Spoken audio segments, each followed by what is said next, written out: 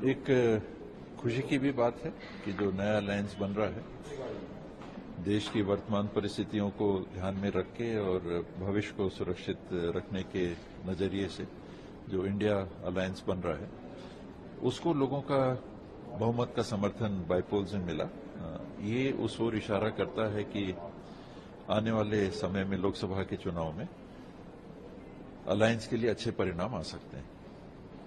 Sir, एक और बड़ी चीज़ हुई आज इंडियन पॉलिटिक्स में, चंद्रबाबू नायडू अरेस्ट हुए या इस सरकार के बारे में क्या बोला जाए? जो शुद्ध राजनीतिक बदले की भावना से लगातार दिल्ली से कार्रवाई कर रही है, इन्हीं कारणों से इंडिया अलायंस जैसी समीकरणों की देश को आवश्यकता है और ऐसी मानसिकता से देश को छुटकारा पाने की दिलाने की नितांत ज़रूरत है। सर राहुल गांधी जी का एक बयान है जिसमें वो कह रहे हैं कि privatisation in education and health care sector इसके कारण पुअर लोग काफ़ी मतलब लैक लैक एक्सेस नहीं कर पाते हैं। सही बात है। इसमें हम आप सब जानते हैं इस सच्चाई को।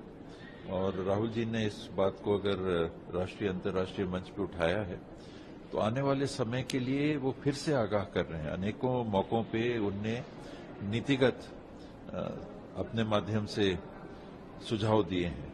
ये एक और बहुत गंभीर सुझाव है, जिसकी ओर हम सब चर्चा तो करते हैं, लेकिन होने देते हैं। निजीकरण स्वास्थ्य के क्षेत्र में और शिक्षा के क्षेत्र में, इसको रोक के और पब्लिक इंस्टीट्यूशंस uh, को बढ़ावा देने की आवश्यकता है। स्क्रीनिंग कमेटी की बैठक क्या मुद्दे डिस्कस कोई सहमति बन पाई क्या स्क्रीनिंग कमेटी में तो डायरेक्शंस दिए गए कि माकन साहब आए थे उनने बताया। एक तो फॉर्मेट के संदर्भ में उन्होंने बताया कि जो central election committee format accept करती है आप ये सुनिश्चित करें कि पीईसी से जो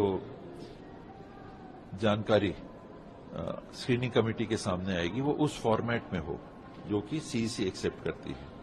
और जब पीसी की कार्रवाई पूरी हो जाएगी नब्बे सीट में उसके बाद स्क्रीनिंग कमेटी की बैठक होगी। आम आदमी पार्टी ने भी अपने कैंडिडेट की लिस्ट जारी कैसे देखते हैं सर? क्या शुभकामनाएँ उनको। ये राजनीति का खुला मंच है मतदाताओं के सामने हम सबको जाना है और मतदाता अपना निर्णय सुनाएँगे।